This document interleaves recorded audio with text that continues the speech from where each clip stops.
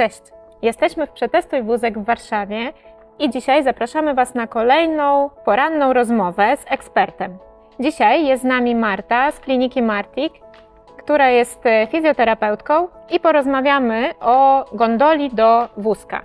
Mam dla Ciebie kilka pytań i pierwsze pytanie to czy jest pozycja dziecka w gondoli, która powinna zaniepokoić rodzica? Tak naprawdę musimy zwracać uwagę na każdą pozycję, która nie jest symetryczna. Natomiast ta symetria troszeczkę inaczej wygląda, jak mamy noworodka, bo noworodek zazwyczaj ma główkę skierowaną na jedną, na drugą stronę i za tą ruchem główki e, podąża całe ciało, więc wówczas bardziej zwracamy uwagę na to, że jak położymy do e, gondoli, że bardziej się denerwuje, e, nie akceptuje e, spacerów w tej gondoli, więc wówczas możemy pójść do fizjoterapeuty, który pokaże nam wtedy raczej, jak można zmieniać pozycję, jak ułatwić tę pozycję w gondoli, żeby po prostu dzieciątko polubiło. W drugim miesiącu to już troszeczkę inaczej, bo dziecko coraz częściej jest liniowo ułożone w, w naturalnym takim swoim środowisku. Za ruchem głowy jest taki odruch szermierza, czyli prostują się nóżki, trochę wygina ciało. Natomiast już wtedy musimy patrzeć, na przykład, czy nasze dzieciątko nie patrzy bardzo często gałkami ocznymi do góry, czy się nie pręży, czy nie wygina, taką literkę C. No już wtedy też musimy patrzeć, czy mniej więcej tułów jest prosty, bo jeżeli widzimy, że zazwyczaj skraca jedną stronę, to już jest ten moment, kiedy właśnie e, powinniśmy zwrócić uwagę, czy nie warto pójść do fizjoterapeuty, który pokaże na razie nam, E, jak możemy pielęgnacją wspomagać. Natomiast już po trzecim miesiącu to zupełnie jest inna sprawa, bo dziecko ma leżeć w gondoli aktywnie, ma e, pracować rączkami, nóżkami przeciwko sile grawitacji, e, musi leżeć na brzuszku, na pleckach, więc naprawdę leżenie w gondoli na brzuszku też polecam. I na co zwracamy uwagę, jeśli chodzi po tym trzecim, czwartym tygodniu?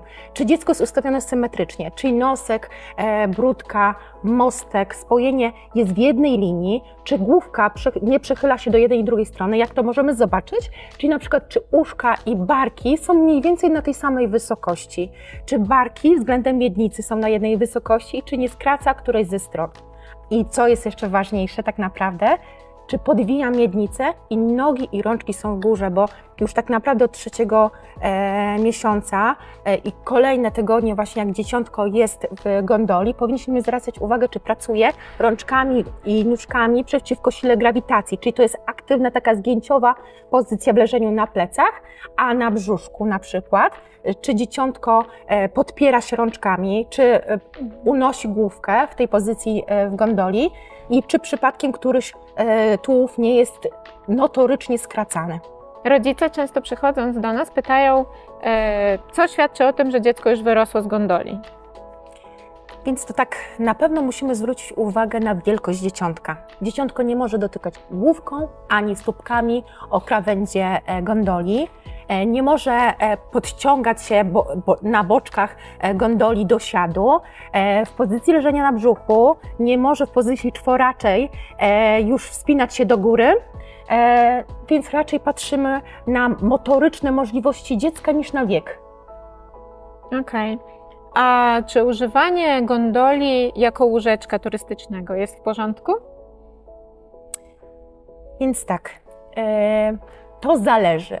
Bo jeżeli mamy dobry materacyk i pójdziemy na spacerek i dzieciątko uśnie nam e, w czasie spaceru w tej gondoli, to jeżeli ja cały czas patrzę na dzieciątko, zablokuję kółka, e, no to dam się po prostu mu wyspać.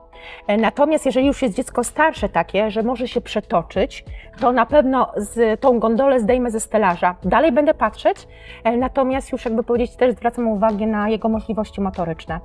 E, natomiast jeśli chodzi o spanie na noc, to absolutnie nie polecam, ponieważ dzieciątko musi mieć bezpieczną pozycję. My nie jesteśmy w czasie snu, e, nie mamy możliwości cały czas patrzeć na dziecko, czy jest bezpieczne.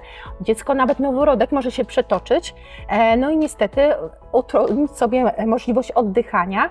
Dzieciątko starsze musi się kręcić, wiercić, bo ma mieć swobodę spania, więc jeśli chodzi na spacer i po spacerze, tą chwilę, kiedy patrzymy, to tak, na noc nie polecam. Rozumiem. Rodzice szukający wózka głębokiego y, zwracają uwagę na materac. Często szukają materaca, który jest najgrubszy. Czy najgrubszy materac oznacza dobry materac? Więc tak, jeśli chodzi o materace, to nie zawsze ten gruby, to znaczy, że jest dobry, ponieważ często producenci tych najgrubszych używają taką miękką gąbkę, która ona się odkształca po kilku, nawet kilkunastu dniach, no i tak naprawdę ciociątko wpada w te odgniecenie. E, bardziej sugerowałabym się, bo materacyk zawsze można wymienić, jeżeli się odkształci, bardziej bym sugerowała rodzicowi, żeby wybrał pod innym względem gondolę, pod wysokość stelaża. Jesteśmy wysocy, to wysoką, e, wysoki ten właśnie stelaż, ponieważ wiele razy w ciągu dnia e, sięgamy po dzieciątko i nie możemy przeciążać swojego kręgosłupa. Jeżeli jesteśmy wysocy, to wiem, że dzieciątko może być szybko duże, więc kupimy większą gondolę, żeby miało miejsce. Jak jesteśmy średniego wzrostu, to nie ma sensu kupować takiej dużej gondoli, bo będzie nam po prostu mini wygodnie, tak?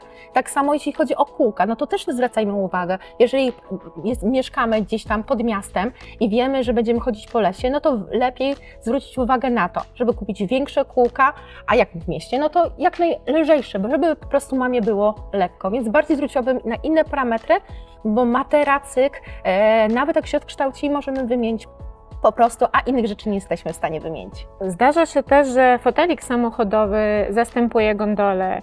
E, czy rodzice mogą wybierać się na spacer z takim fotelikiem samochodowym, czy raczej to nie jest zalecane? Jak długo w ogóle możemy w takim foteliku samochodowym dziecko przewozić? Zarówno fotelik samochodowy, jak i gondola mają zupełnie inne zastosowanie. Fotelik samochodowy jest do bezpiecznego przewożenia dziecka. Wymuszona jest jego pozycja, ale po to, żeby chronić dzieciątko w przypadku zderzenia komunikacyjnego. Natomiast gondola daje dobrą pozycję dla dziecka e, w czasie spaceru, tak? Dzieciątko jest odprężone, może działać przeciwko sile grawitacji, ćwiczyć i się bawić.